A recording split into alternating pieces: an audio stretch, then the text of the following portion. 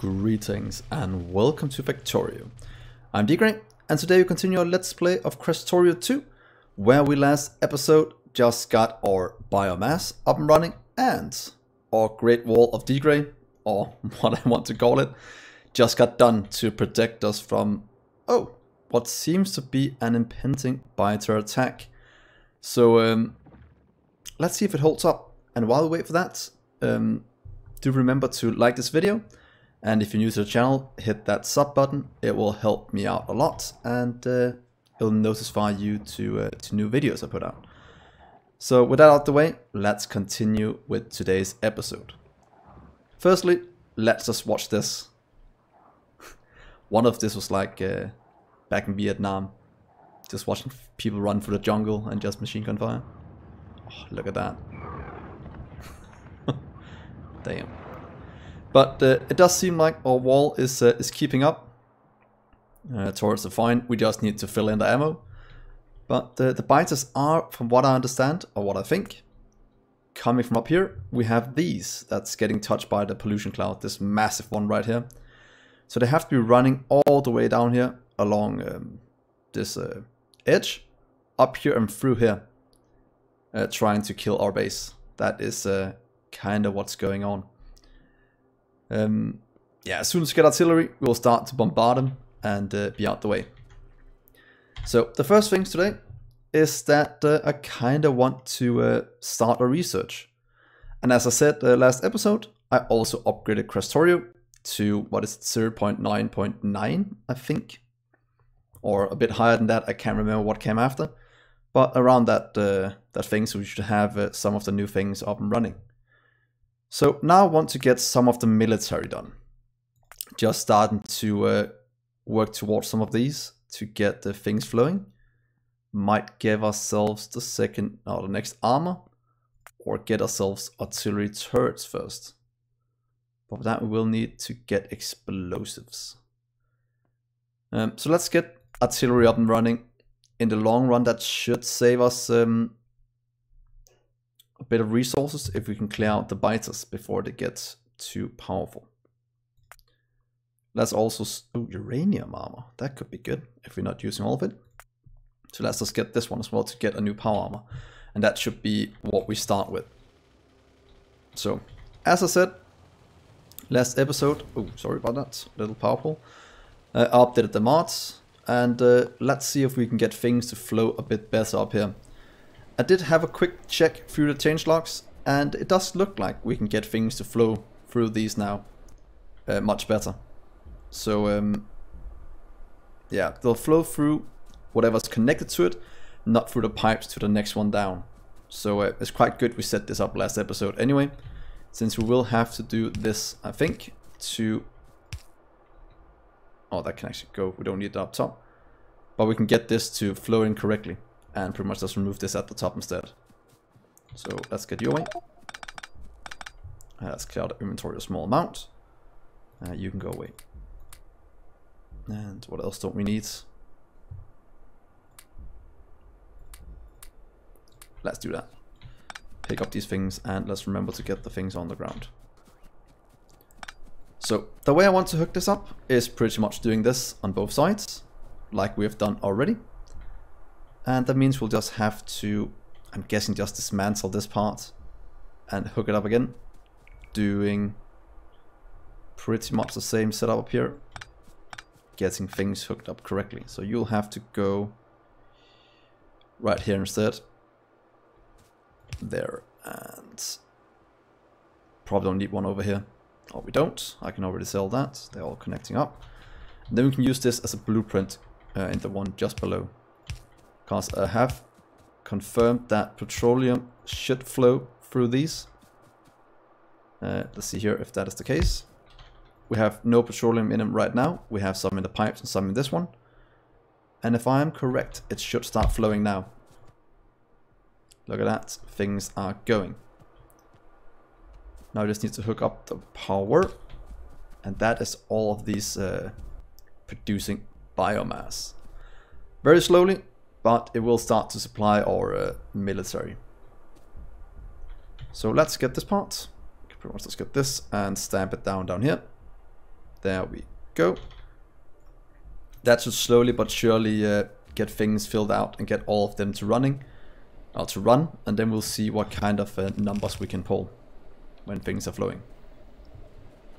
So that is that. The next thing I want to look at, as soon as I clear out this little biter mess here, there we are, is probably to set up a new little area here.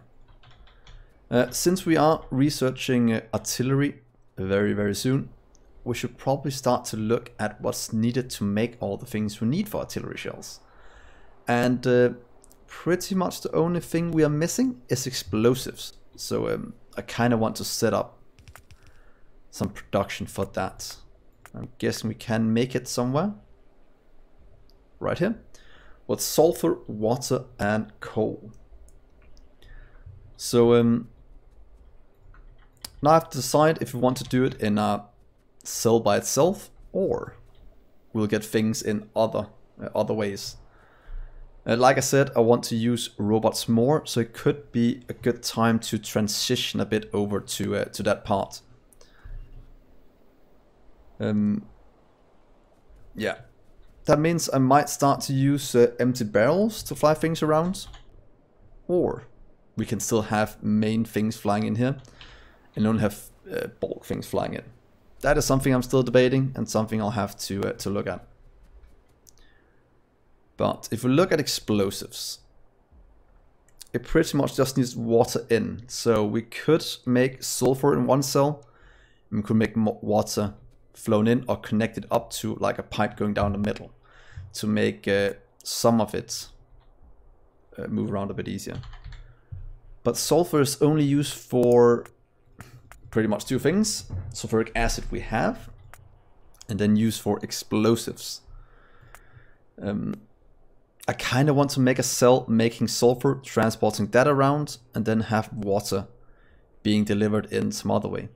Though if you look at this recipe, water is a lot easier to transport than sulfur is, because that is pretty much two barrels. This is five sulfur, so in terms of items, it is a bit easier to move. So um, yeah, I'm not quite sure how we should do it, but uh, I kind of want to make it easy to expand. Also the sulfur in the future. So should we just do a sulfur cell around here somewhere? Could do it in this one. Can't see an issue with doing that. But should we just do a sulfur directly into explosives? They'll still need us to bring coal in, so I kind of want to do it some other way. And we could expand this one, this setup, but instead of going into these, it will just kind of go and do something else. Hmm, how should we do this? A whole sulfur cell would produce a lot of sulfur. And uh, yeah, I'm not trying to go into mega base territory, but we could do an entire sulfur cell. But I'm quite afraid of how much room it's gonna use. But yeah, let's let's just do that. I don't really mind. So let's make a huge sulfur cell. But transporting the fluids in by pipe, at least for now. We'll make a bit of room for it in the future if we try to go for it. But we can in theory just do this to free with outputs into a middle chest. So if you have a passive provider, maybe at the end of this, produces two a second, so that means three of these. Or produce four, do a half a belt. So we could do loader loader and a passive one. As uh, oh wait we can't do that. Because only needs an input. We can do four and then a loader. But what if we do this then this way you'll all output this way into a chest can we then do one of these on the outside as well so right here going the opposite way That should give us a full yellow belt at least. And I think it looks kind of cool. With something like this. So... Oh, we can't do it here. We'll have to do it in the middle. Else we can't output correctly. So what if we do this, guys? I think this is a nice compromise. That should give us what equates to one red belt with the output in the middle where we're not using it anyway. So that'll be loader, loader into this one. Limit it to, let's say a row. And then this will be a, our setup. Can we just put it down here instead? Just like that. And then we just need to hook up, what's it called, or things, and this can start to move. Uh, I just kind of want to get it lined up with the middle. It's not something that's necessary, but it's something I normally do because I like the way it looks. Uh, I think this should, let's say, is this the middle? Oh, it's tight on the edge. So let's do it here. That gives us a bit of room on the side if we want to do something differently in the future. So now we just need to hook up petroleum and other things, and I think we'll do it here from this side. So petroleum will come in and connect up to these two. To got one more, so we have room for the water that's coming in. So we have water running here. We'll have petroleum running there. Will this work as a way to do it? Mm, no, not quite, because we can't get the water in here because of this one. Could take it up one more to make it a bit easier to, uh, to manage. So you can do this instead. And that way it should be able to connect up as we want. And you'll go out here. That means water... No, that's not gonna work. Because you'll have to connect up right there. So you'll do this instead. Or just move it out a bit more. Let's do this before we make some stupid mistake that we can't really control. This is the water. That'll be on the inside. Then we'll do you on the outside. Yeah, that seems good. And then you'll just continue up this way. To right there. The only place it can't be. oh, that is so silly. We can move you one to the right. That will solve that.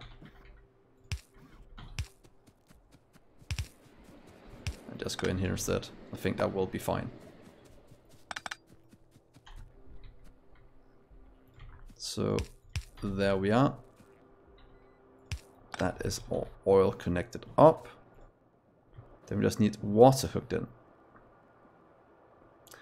I hate myself once in a while, because look at that, I'll have to move it up one, just like we said before.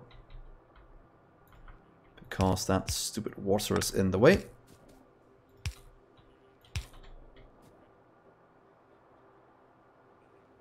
Yeah, that should connect up correctly. And then we'll just have petroleum in all of these, same at the bottom. Then we just need to drag in some water.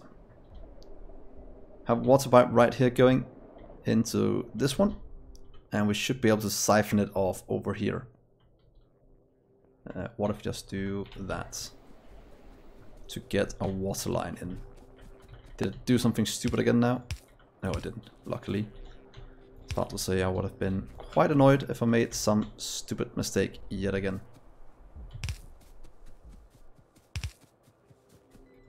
And it would be so much easier just using uh, our robots to transport all this around. And to be honest, I so want to do it. But I also want to try and do something a bit differently with these uh, these pipes. I kind of wish I had, had a good way of turning corners with it. But since we have all these roboports here, that's not really an option. unless we just put one in the middle, but uh, I don't think that will work as I wanted to. So there we go. That should be uh, two full belts of uh, yellow into this one. Easy expandable. If we had to fly in what's called the water for this one and petroleum, that would be, all that be? Two, one barrel every second, and on average 1.2 barrels per second. So that'll be quite a few flying in, so I'm actually quite nice, quite happy with this setup. And look how fast we're producing sulfur. So that is good. Next thing I want to hook up is what we did this for, and that's to make our explosives. That needs water as well. Luckily that is going through the pipes right here. So let's do a nice simple explosive setup. I'll do one I've done before quite a few times. So explosives are made in a chemical plant. That is not the hardest thing to do. So if we start right here, I'm just going to check we have room for an input output. This one would be unbarreling when we do it in the future. Then we'll do it like this. We'll say we want to make explosives. I would like to have a requester chest and a passive provider in here. Like to have one power pole, because then we can just flip it to the other side. And have this one flowing in through. So this will be our setup we can use in the future. Limit all of them to one stack, just because I don't want to go completely overboard with this but uh, in theory this should work. I could use loaders, but they do take one extra spot. I don't like that always, at least when it's not in bulk. So we'll just go with our normal inserters. In, in, in, in, out, out, out, out. So that will give us all the explosives we need, which is uh, probably what's gonna happen right now. So let's try this see if it will work as intended. We'll just have robots flying in things. So that'll be our sulfur cell. This will be our explosive cell. Maybe a bit overkill having an entire cell for that. But that is what we're doing right now. And if we're using robots, it shouldn't be an issue. Oh, they're right there. So, um, oh yeah, you need water in also made room for a future expansion of robots. So there we go. That is probably going to be all the explosives we need. And now that we have this, we should be able to go up and set up a simple explosive shell production in um, in our lab. And, not in our lab, in our mall. And then we can actually do artillery shells. Should we do it somewhere else? in a cell where we have everything with direct insertion. One every eight second, this needs four. Oh. That's fine. So, firstly, I want to get this one up and running. We have everything we need. So let's just do it an easy way. How does it look up here right now? Uh, right here we have enough we have one empty spot there we can actually do it in we could in theory just do a simple setup the first time and then when we need to do, use it in bulk we will uh, do it somewhere else. So what if we just do this? We need pretty much three setups. So let's see here. One two three four. I'll just move it afterwards. And the three things we need is one, we need artillery turrets. We'll need, let's not use this one yet. We'll need artillery shells. That is going to be explosive cannon shells. And we'll need artillery shells. I'm guessing this is gonna blow the biters to smithereens. And that is exactly what I want. The rest is being made in the mall already. So let's keep it that way. And this one can be made as well. Do we have a fourth thing we want to put in? Now that we are looking at it. anything exciting. That one I can make myself. Could be about time we set up ammo piercing rounds just to get some made because the biters are getting quite uh, quite aggressive and it might not be a bad idea getting that set up where uh, they try to attack us the most the most even. Same range more damage. Actually not that much more damage. But uh, yeah let's let's do the let's do one. One armor piercing. And it will limit you to uh, limit let's do one row so we have some. And this will be what we set up in terms of getting uh, things flowing. So our robot's gonna go a bit crazy. I'll have to move this quite quickly. There we are. And place it in up here. And that will give our robot something to do. And that will start to make artillery turret that we can just place down at our wall. And then we'll start to blow all of this up, getting rid of all of these biters. So that is gonna be uh, be quite nice that we don't have to go out there and do a catastrophe like we did last time, where I somehow got myself eaten. That is uh, never good. Uh, Science-wise, things are going fine as well. Don't know why a biolab's not being made we're pretty much just missing uh, bio things because I have it all. But we do need to make a lot more or go out and take some from the biters. They should all three start to work. Oh, we've got to expand both sides here, didn't we? Thank God I didn't uh, end this episode before I fixed this mistake. Otherwise you guys would have been uh, hounding me for a while for forgetting something as simple as that. There we go. Yeah, we will need to uh, to get some better ammo at some point down here as well. Because this is not keeping up, so we'll have to make whole cells dedicated to, uh, to taking care of these. I'm just gonna go up and drop this into um, our mall because now this is at least hooked up correctly so we can get the rest of them produced. Oh, look at they're quite strong. Yeah, it's either this or we'll have to go with um, laser turrets as well. So that was that research. That gives us our power armor. That means we'll have to make a few things to get that to work could quickly make it in our mall as well, or at least go and set it up. And we should probably get some Kovarex enrichment as well. I uh, don't know how much we have stored at the moment, but I'm guessing it's going up there. Look at that, a railgun turret. That sounds amazing. I'm looking forward to trying that. Uh, what else do we need? Personal roboports could be nice to have. If we have to go outside and get the robots to help us pick things up.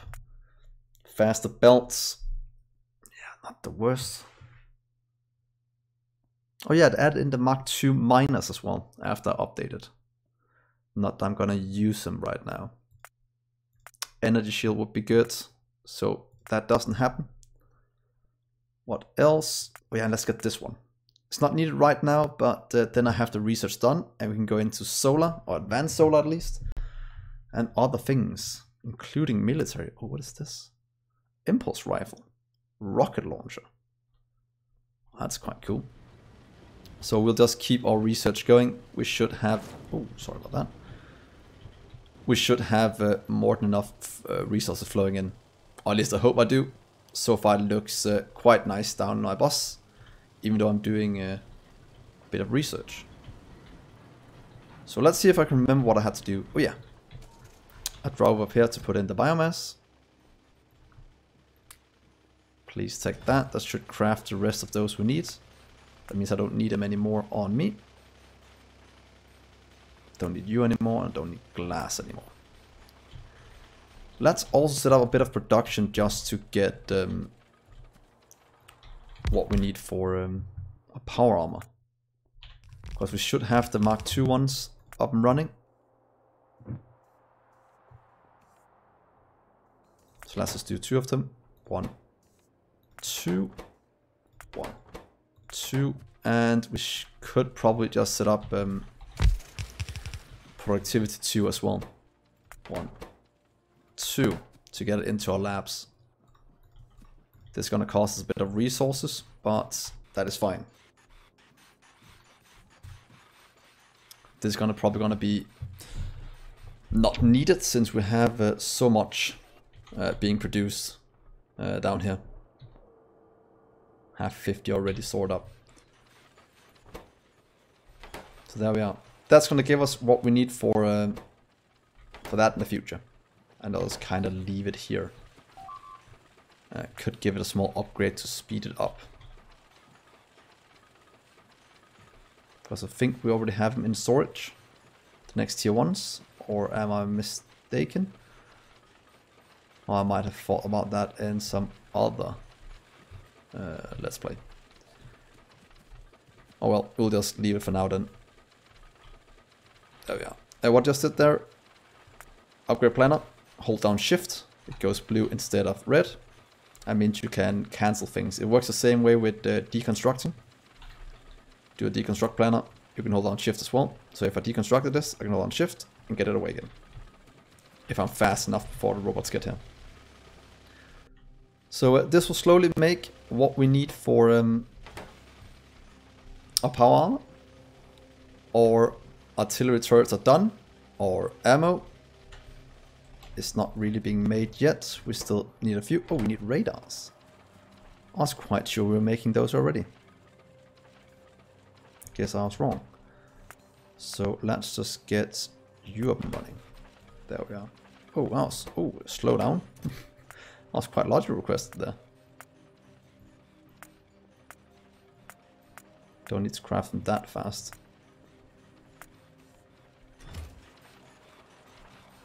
Gives radars, that'll give us our first ammo. And then I kind of want to fire off one shot. Let's give me one of you. Let's see the range. Oh, I can't see the range before I place down, I'm guessing. I was quite sure it had a lot bigger range than that. That feels quite small. oh yeah, never mind, I'll have to make one of these. Now I'll show you what I mean. Look at this, guys. So this is normal range. Boom. Seriously. Can I hit all that from inside the main of my... oh, I feel sorry for you, biters. I'll have these at my borders to take care of expansion of biters. You have to try that. And then I can pretty much just bombard them from everywhere. So uh, this is what I'm gonna do. Now we have ammo being made at a nice speed. Not sure how much they stack to. But uh, the last thing this episode, that's gonna be called probably artillery turrets or something like that. Death from above, I don't know. We can do a request a chest just putting it right here on the side, doing an inserter right here, maybe giving it a big power pole to make it a bit easier to place down. And then in theory, we can do this. Please request. Oh, guys, we're gonna do a first artillery shot. I'm gonna do from in here, uh, not uh, put at the edge yet. Uh, do you? 25, are you insane? Uh, should we just give 5 to each of them? I think 5 might be good. Or 10. Let's do 10. It's being requested. That'll drop into these. That means we have ammo. Let's do 5 because they can store quite a lot in it as well. Oh, it stacks up to 5. Okay, so we have 15 now in each of these you place down. So um, let's try this. Can't...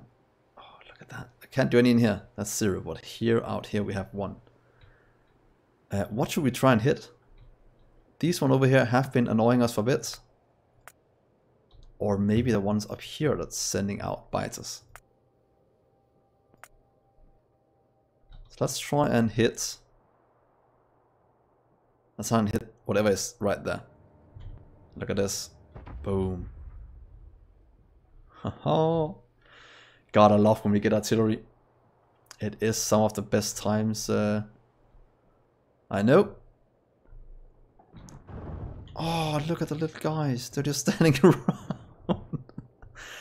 Oh no. So let's just secure. One if you can blow up all of these with one shot. Oh, their friends are not happy.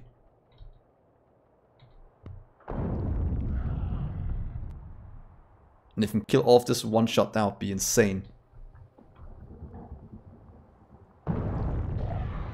Oh, they have a nice big radius.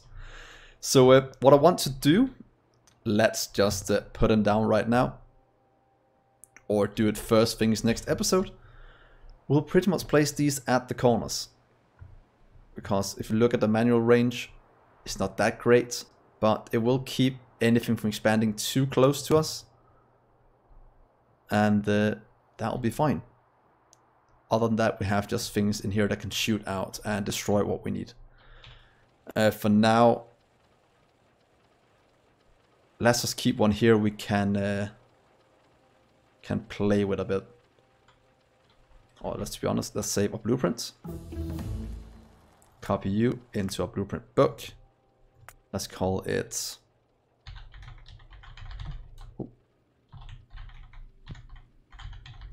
Krastorio 2 v1. And the reason why I call it version 1 is that when I put it into right here, I can easily see which one I have and uh, what's, which one's the older one. And then I kind of want to move this somewhere else and get him to, uh, to auto fire at will. So that means I'll cut you and maybe just right here in the middle to attack whatever enemies we have up here. We'll do one here as well. Can I figure that out? Oh, we can't. Oh, we can. Then we'll do one. Let's see here. There we are. We'll do one at this border as well. That, that, that's gonna hit these. Let's do one here in the middle. I just want to curve some of them. Let's do one here. Do one down here. And over here. That should give us at least some coverage. Look at that, all the things inside range. Is this getting ammo? Where's that? There it is. First shot. And now we pretty much have an automatic, automatic system killing biters around the world and clearing out whatever is too close to us and making sure they don't get too close with expansion. This one is getting covered as well. And the rest are getting... Oh, this gun is getting annihilated. So when you get back ne next episode, I have a feeling that a lot of these might be, uh, be gone. Or if not, that uh, then we'll see them blow up in the course of that episode. Right now the ammo is at least being made to, uh, to take it out. So um, as you watch the last shot go off this episode and watch some biters get blown up, do remember to uh, give this uh, episode a like. And uh, if you're new to the channel or just haven't clicked subscribe yet, please uh, do it if you would be so kind. That will help me out a lot. And I know only about 5-10% of you uh, do it. So um, let's see if we can get those numbers up. That would mean a lot to me. So uh, thank you so much for watching, guys.